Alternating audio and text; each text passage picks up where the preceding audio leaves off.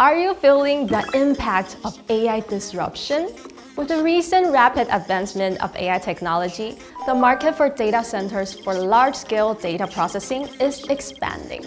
As a result, the disposal of used hardware and electronic products is also increasing.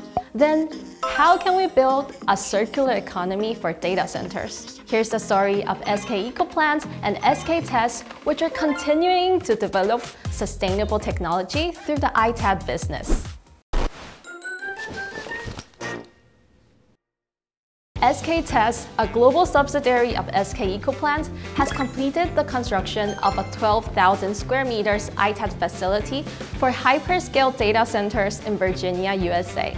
ITAD is a closed-loop solution that collects retired IT assets, completely destroys the information stored in them, and maximizes recovery value through reuse and recycling. IT assets that have undergone the ITAD process are repaired and inspected and then resold as refurbished products, or disassembled and sold as parts or materials. The US state of Virginia, where the facility will be operated, is the world's largest data center market and a strategic hub for 70% of the world's online data. Global IT companies such as Amazon and Microsoft have established data centers in Virginia, and many new hyperscale data centers are planned to be built and expanded.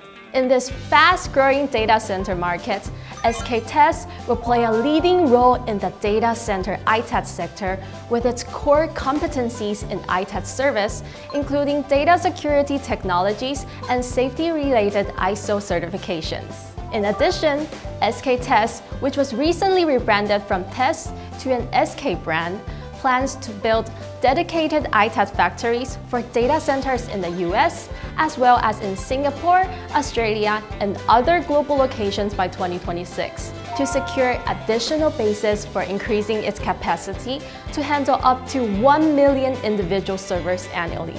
The ITAD business will play an increasingly important role in the AI and data centered era. We look forward to the global ITAD market and a sustainable AI future led by SK ecoplant and SK tes.